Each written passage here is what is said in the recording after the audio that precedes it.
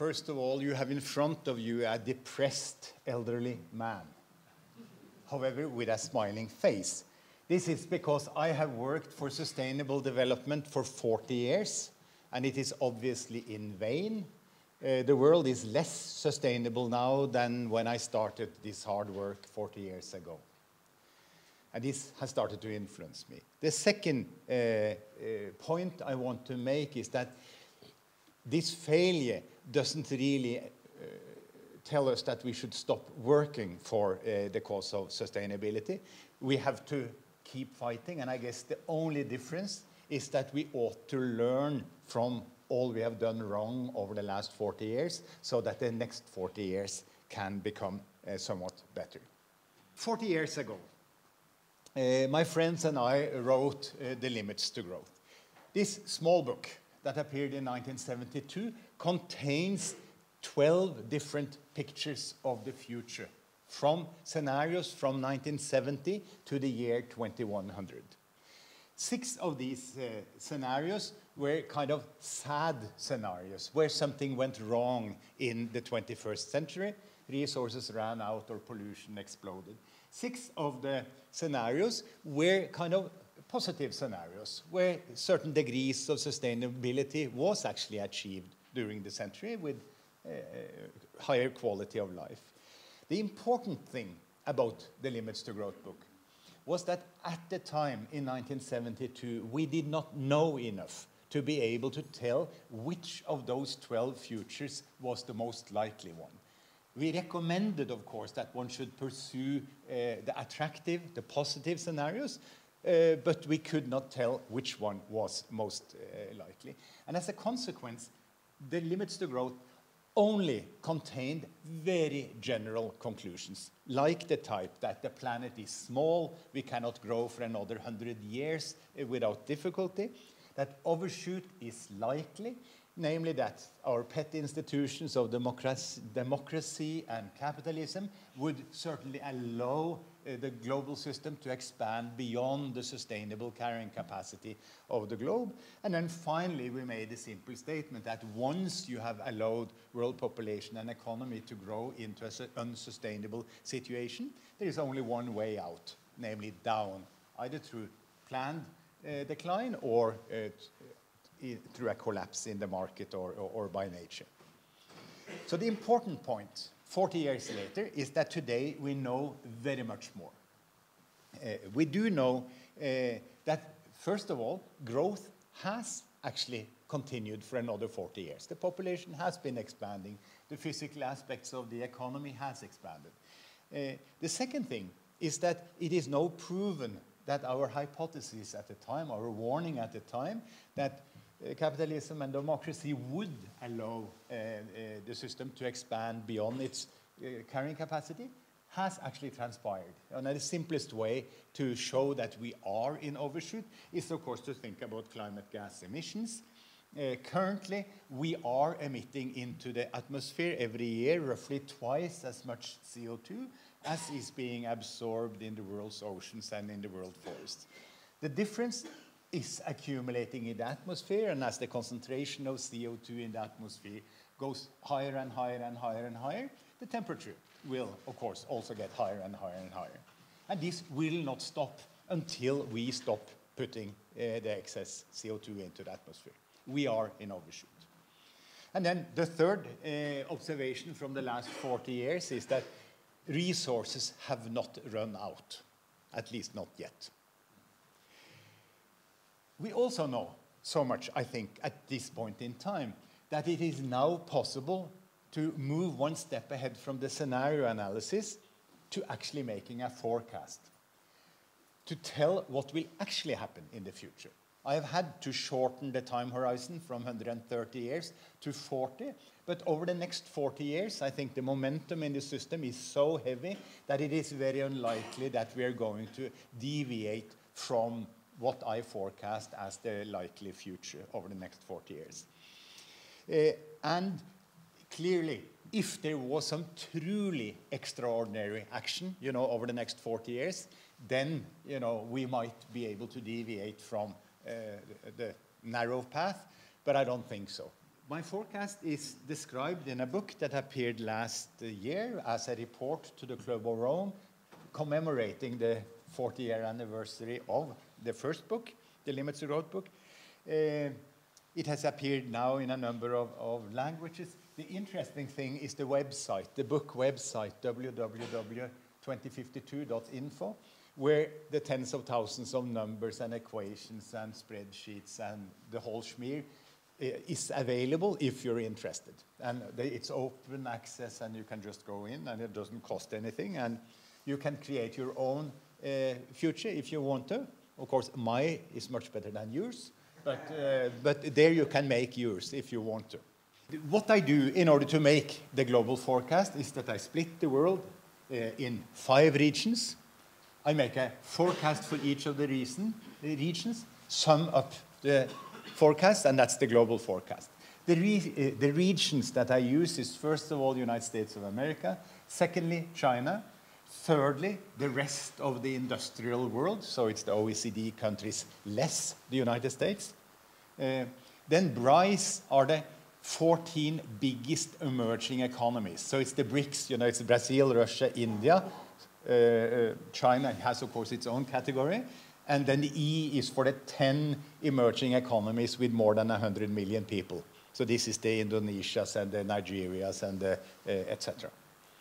And then the ROW is, of course, the, the rest of the world, which are the 140 countries, which are largely small and largely poor.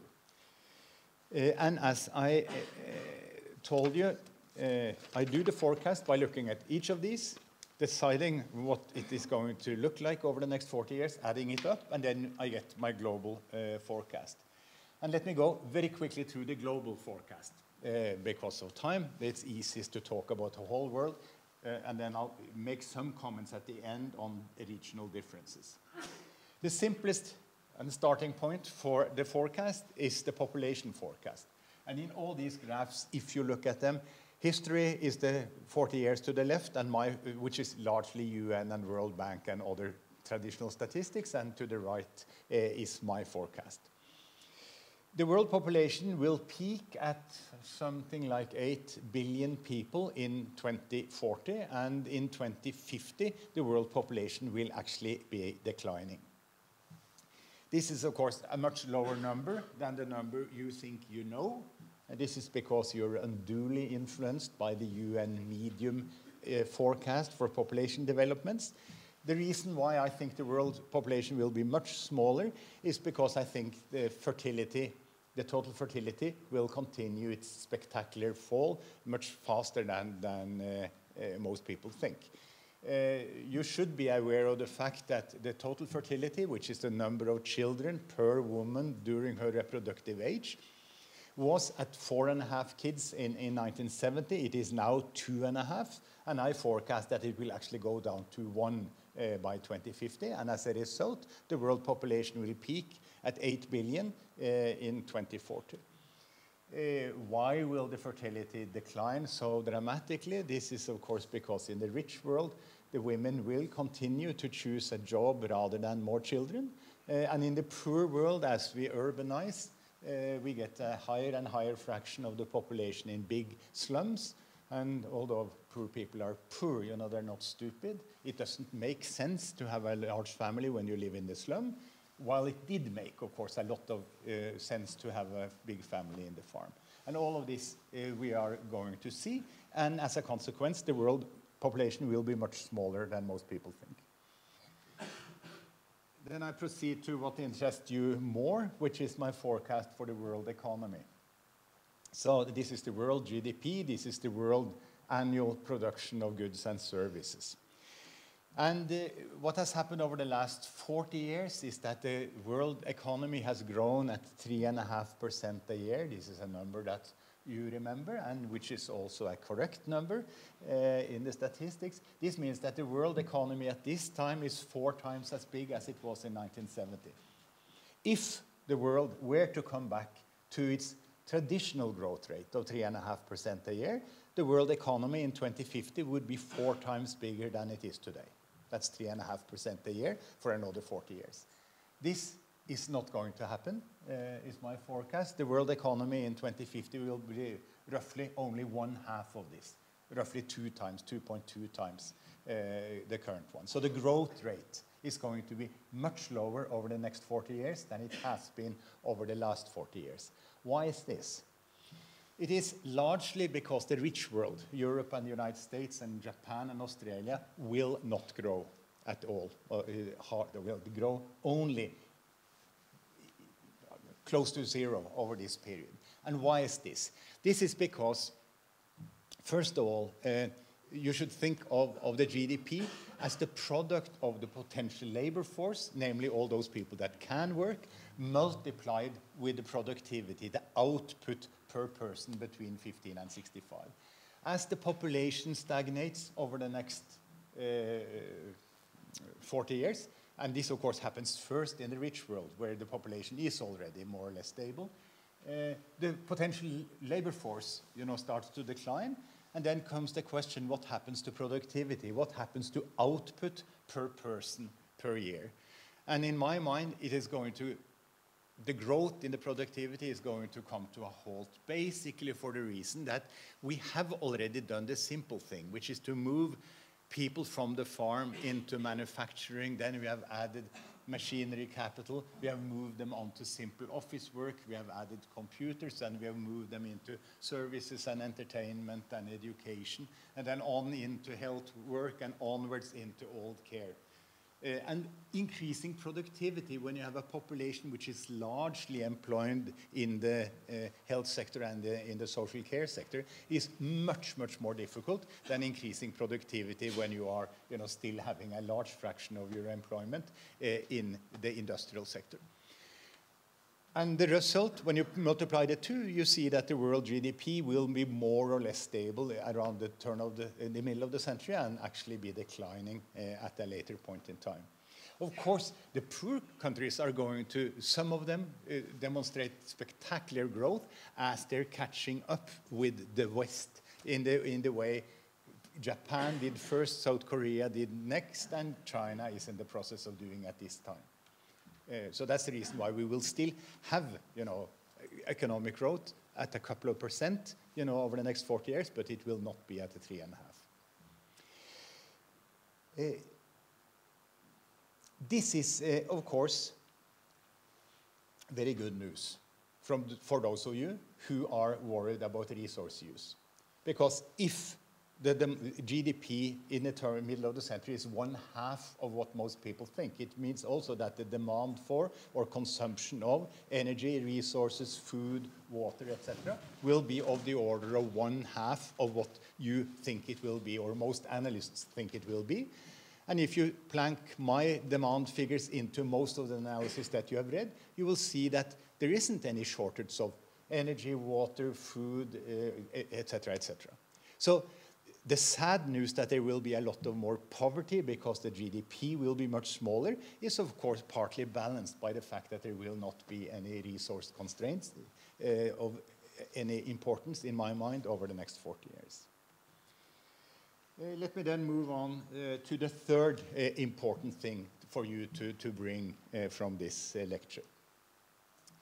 A modern society, global society, is facing already and will face increasingly over the next 40 years.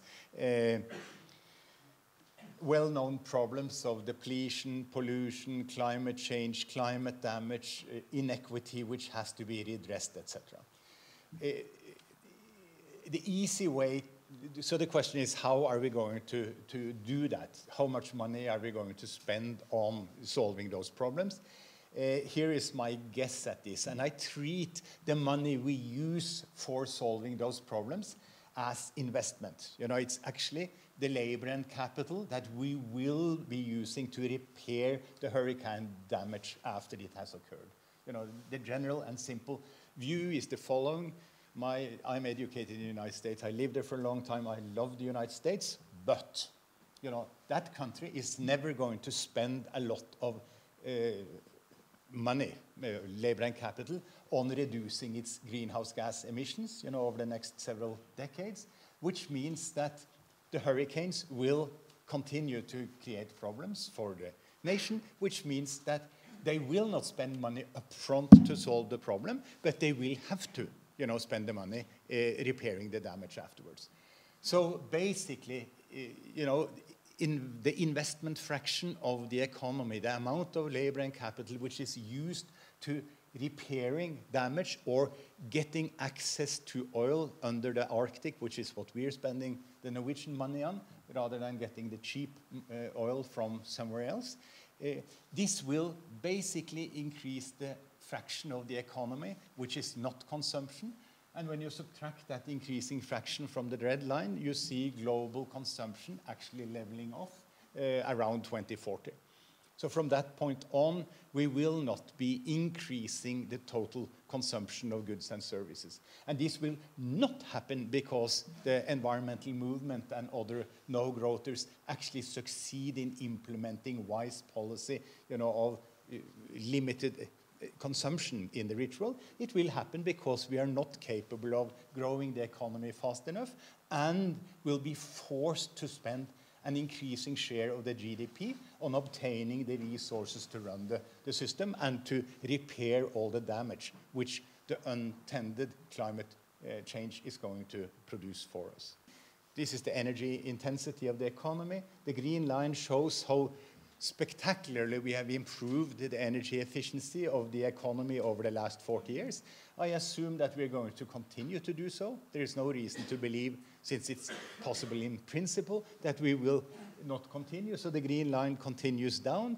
Uh, multiply with the GDP, and you get global energy use. Global energy use will peak in 2040, and that's the time when we will use the most fuels and, and, and coal, oil and gas, the whole schmear. Uh, at the time, and in 2050, even the global energy use will be in decline. Uh, there is more detail in the forecast. If you dig down, here is the composition of that energy use. And you see how from 2010 onwards, you know, coal use goes up uh, for at least a couple of more decades. Gas use, of course, even more spectacularly so.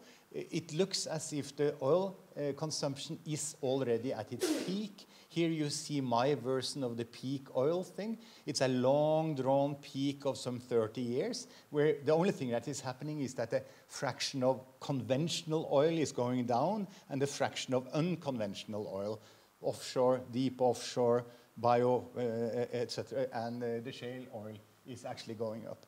But then you see at the end, most of the fossil fuels are declining you know, uh, in annual use.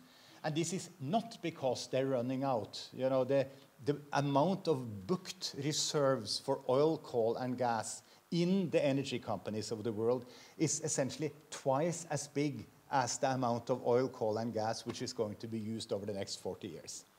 Which shows, for instance, the lunacy of the Norwegian activity. You know, we're pumping 30, oh, call it 25 billion uh, euros a year into exploring for new oil and gas in the Arctic. You know, when already the booked reserves are twice what humanity is going to use over the next 40 years, which is interesting, which of course proves the fact that most people don't disagree with my forecast. But uh, that's the way it is. The reason why the, the, the, coal, oil, and gas finally starts to decline is, of course, the yellow line, the renewable energy, which is the, the wind and the solar and the, uh, the hydro and the biomass, which is gradually forcing its way into the market and then finally starting to squeeze out fossils. And in 2050, uh, still there will be 60% fossil, but uh, at least 40% will be uh, on the renewable side. Once I know the energy use, I can easily calculate how much CO2 humanity is going to emit uh, over the next 40 years. Uh, you are aware of the fact that we're aiming for 50 to, to, a cut of 50 to 80 percent of the emissions in 2050. That's the you know, agreed uh, ambition level in order to keep the temperature under plus 2 degrees centigrade. Uh, you see, my forecast is that we will be uh, cutting zero in 2050, we will be emitting exactly as much CO2 as we do at this point in time. The only difference is that now emissions are growing at 3% a year, and in 2050 it will be going down at 3% a year. So at least that's a step in the right direction. but of course, it's a step uh, much too slow.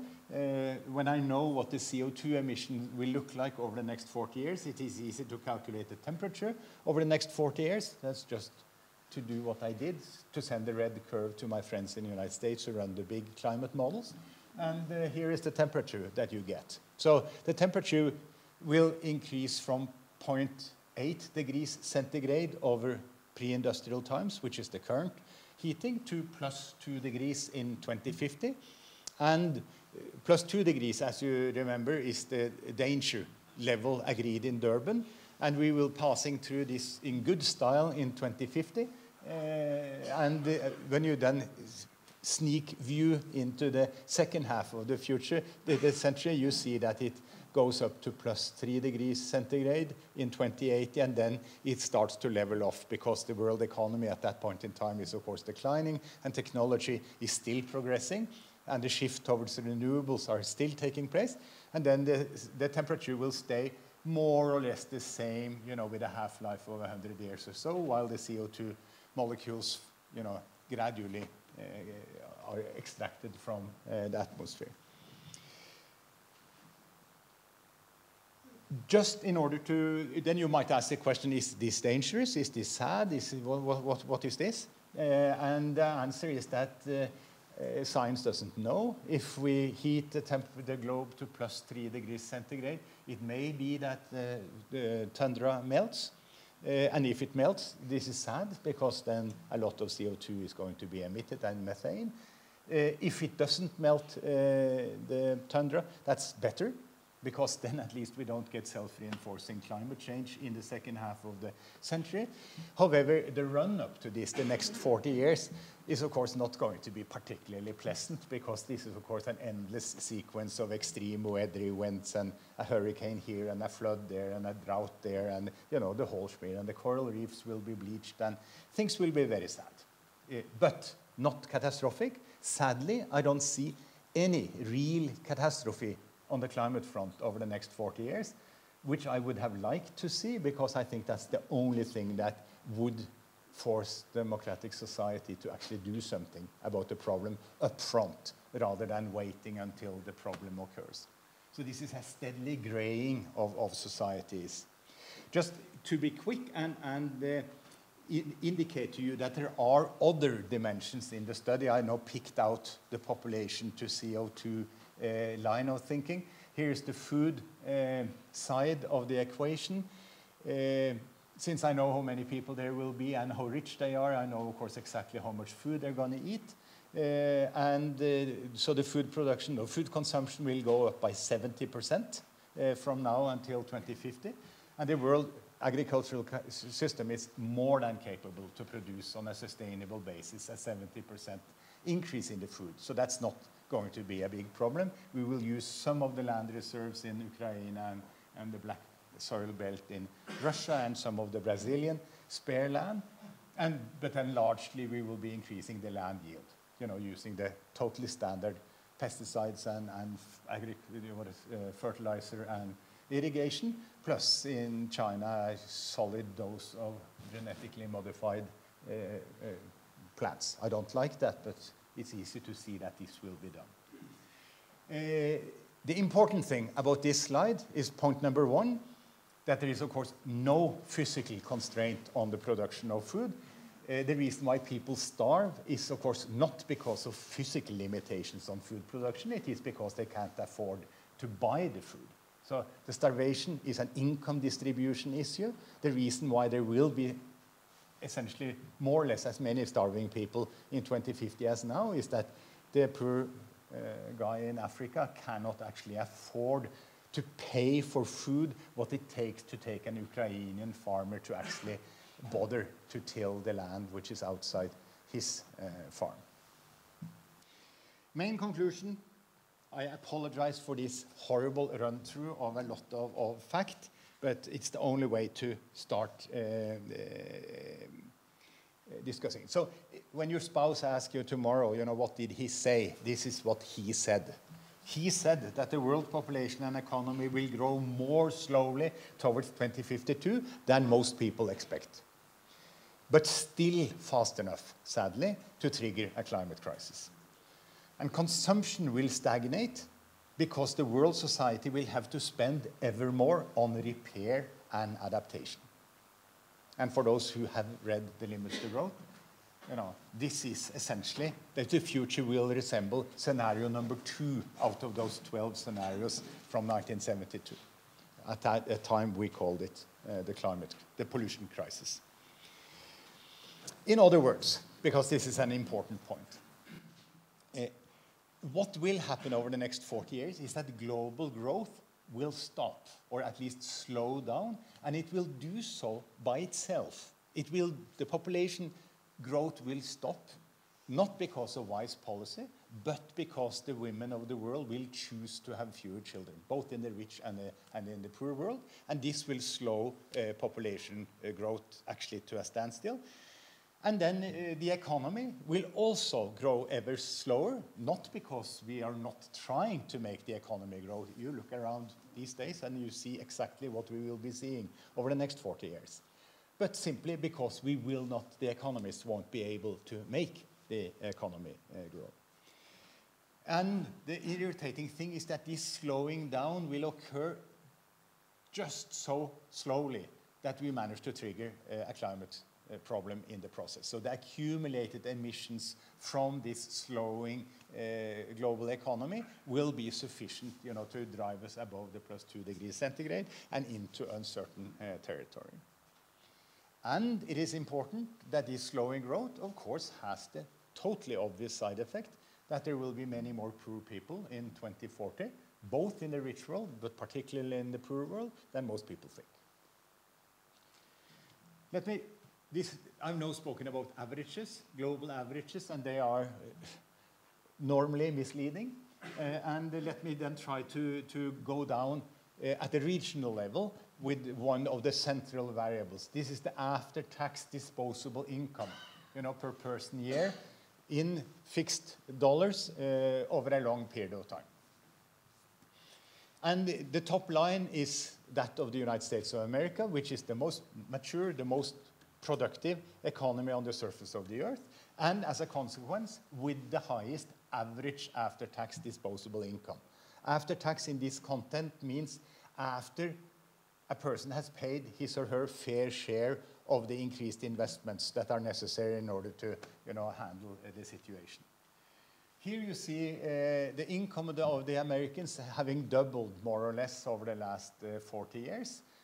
And again, for the, those of you who know uh, what I am talking about, you know that this is another average, which is totally misleading. What has happened in the United States is that the blue-collar people haven't gotten a raise since 1980 you know, so that the blue line should actually have been a horizontal line for the last 30 years, and the elite has taken, you know, my friends have taken basically uh, all the economic growth that uh, has occurred in the United States over the last 30 years.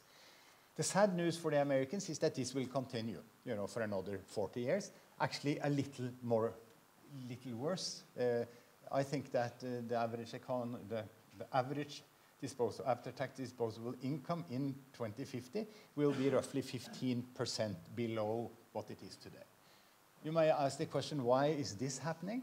Well, first of all, because this is the most mature economy on the surface of the earth, who have already made the whole shifts of the labor force, you know, from where it is easy to increase productivity into the tertiary and quaternary sectors. Secondly, they have a huge debt to the Chinese. And in order to re, you know, and this will, in order to repay, will require a restructuring of the American economy uh, so that they produce something that the Chinese are interested in. Uh, and this, uh, I don't think, uh, will happen the, because of the third reason, namely that the Americans have a dysfunctional uh, decision system.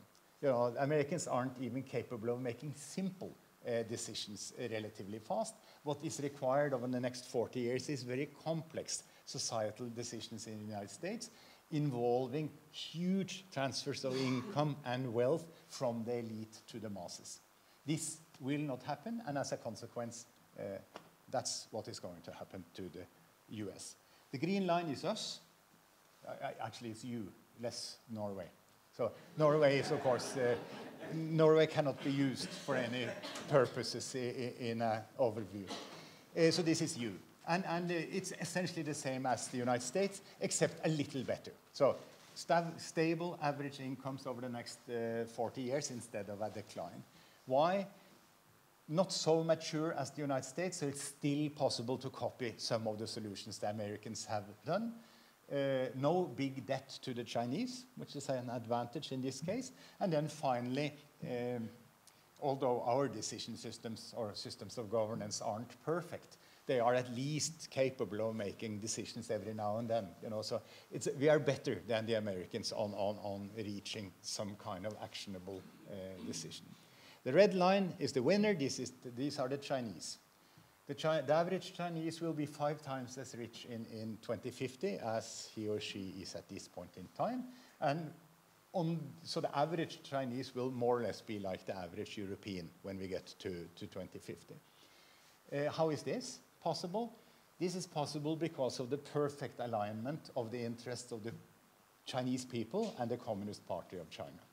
Both are dead set on getting rich as fast as possible, and since it is possible, it will happen. Yes, there are the 3% of the Chinese that would rather like to say what they think, you know, rather than getting rich as fast as possible. But my forecast is that the 97% of the Chinese who are much more interested in getting rich will control those 3%. And legitimately, legitimately so, in my mind, you know, if you think that the dictatorship of the majority is a proper rule, and of course most Democrats think so. I, I have not said that I'm a Democrat, but that's... Uh, the, the, the, burgundy line is uh, the, seven, the 14 big uh, emerging economies. Uh, I have no uh, certain opinion on whether all of the 14, how they're going to do. This is the same as asking, will India make it? Or will Indonesia make it? Or will Brazil make it? So I've done the safe bet. I say half of them will make it and the other half will not be able to copy you know, the, the, the rapid uh, transition uh, into a, a modern economy. And then finally, I have an opinion on the 140 poor countries.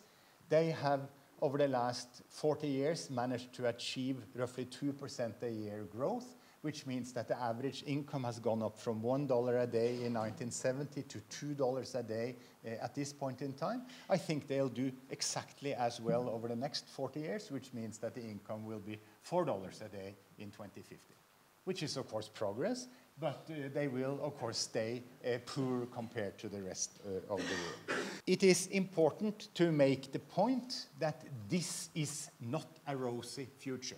Many people look at this and say, since there are no bumps on the curves, they think that everything is fine. Uh, this is not nice for uh, rather big groups of the world population. And this is irritating to a person like I who has been spending so much time on trying to achieve an, a sustainable world. Because, of course, I know that it is technically possible to create a very much better world you know, all the, and it's particularly the climate crisis that could so easily be handled.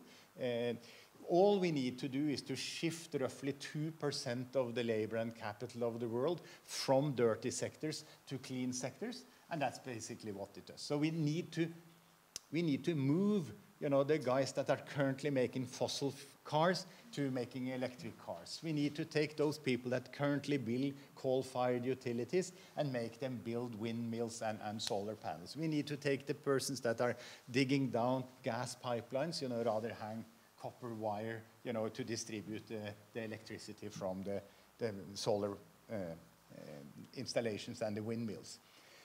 Uh, and so it's very simple to do. The problem is, of course, that since the solutions, the clean solutions, are slightly more expensive than the dirty solutions, we don't do this. Because, of course, we choose always the cheapest solution and to try to argue in favor of doing something which is more expensive than the cheapest thing normally fails. And that is the problem. So the fundamental problem, why we will create for ourselves such a sad future, is human short-termism. You know, we are not willing to make a sacrifice, an extraordinary sacrifice today, in order to get an uncertain benefit for our children and grandchildren 30 to 60 years down the line. Sure, people are willing to make sacrifice with a five-year horizon. They actually pay a lot of money to go to my school in order to get the hope of a better job five years down the, year, the line. But they do not sacrifice voluntarily today for an uncertain benefit, which is much, much farther down the line. And that's the core problem uh, of the climate uh, uh, crisis, the way I see it. Some optimists say that you're wrong, the market will solve this problem. Capitalism will solve this problem. Well, my view is that that is totally wrong. Capitalism is made in order to allocate capital to the, cheap, to the most profitable project, which is the cheapest solution. And if you then try to force uh, capitalism to put money into what is not the cheapest, you don't succeed. We need to channel the money into windmills, which cost between two and three times as much as coal per kilowatt hour, or even worse, into solar, you know, which is even more expensive, or deep offshore wind or whatever. This won't happen by itself. Then other optimists say that this is easy because we just pass regulation. You know, we internalize the externalities, as it's called in economic speak. Uh, we put regulations in place which aligns the corporate interest with the societal interest. And I say, good luck. We have spent 20 years now trying to get a carbon price in place, you know, which would do that trick, get us off the fossil uh, line. Uh, it won't be done. It hasn't been done in 40 years. I mean, all we have gotten is a puny uh, European or EU ETS that has a carbon price which is totally insignificant in the big uh, picture.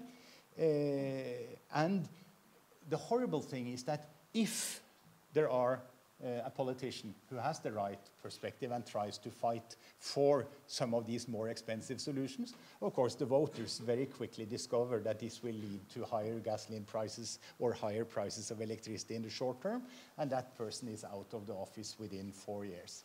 So we have a wonderful system where the short-term nature of the individual is reflected in, again, the pet institutions of democracy and capitalism, keeping it onto an easily predictable set of decisions, which are all in the short-term interest of the nation.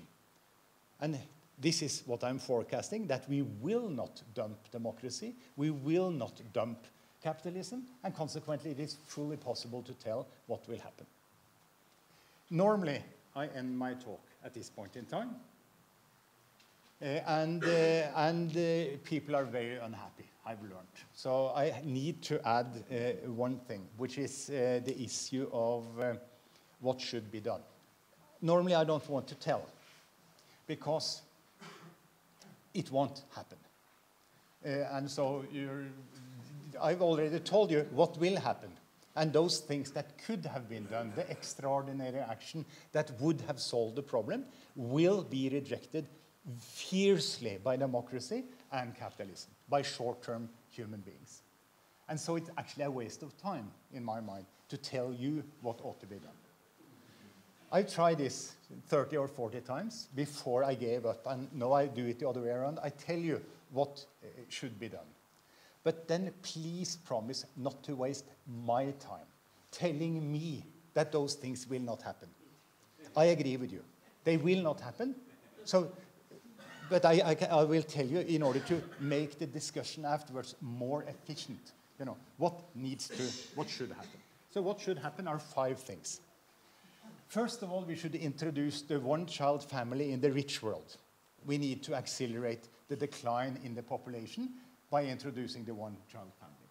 Secondly, we should, we should, of course, ban the use of coal, oil, and gas. Most of the CO2 comes from those things. There are technical substitutes you know, for all of them. And uh, this we should do, and we should, of course, do it in the rich world first, and we shouldn't really ask someone else, you know, the poor, to, to sacrifice more than they have sacrificed. We should start doing this. And in 20 years' time, we would have solved the problem, and then the solution can be copied by the then slightly uh, richer or less poor countries. Thirdly, instead of doing all the well-intended development work that we are doing, we should take those few billion that we are actually uh, you know, sending uh, to the poor world and use it all to build a low carbon energy system in the third world. So that we should go and build the windmills, the hydro plant, the solar panels, the biomass treatment, you know, in order to avoid the situation where they have to choose the simplest solution, coal, and then, you know, postpone for another 30 years a reduction in the emissions from the poor world. Fourthly, and I remind you, please don't tell me afterwards that this will not happen. It will not happen. But on the, you know, in order to handle the, the short-term nature of the human being, I think the only approach would be to establish a supranational institution that actually tells the nation state how much CO2 the nation state is allowed to emit. This is uh, so a global central bank for climate gas uh, emission rights, basically.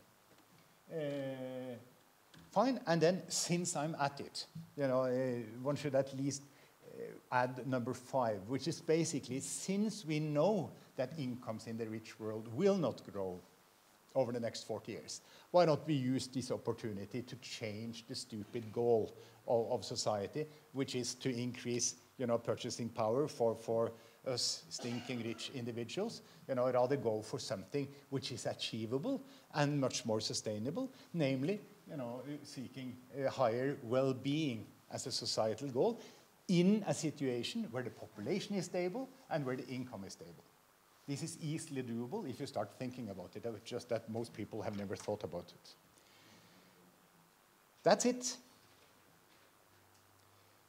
I have not included these extraordinary actions in my forecast for the simple reason that I don't think they will be done. At the same time, and I should of course have included, you know, close down democracy or close down capitalism. These things will not happen either. And this is the basis for my forecast.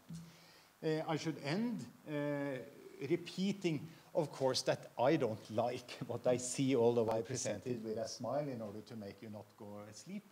Uh, this is, of course, not the type of future that you would have gotten if you elected me as your dictator. But this is the future that you will get, you know, and that's so the only hope I have is, of course, that by being sufficiently arrogant and irritating, you know, I might kick some of you into starting working on those extraordinary actions that are necessary in order to get the world off the forecast, uh, off my forecast. Thank you very much.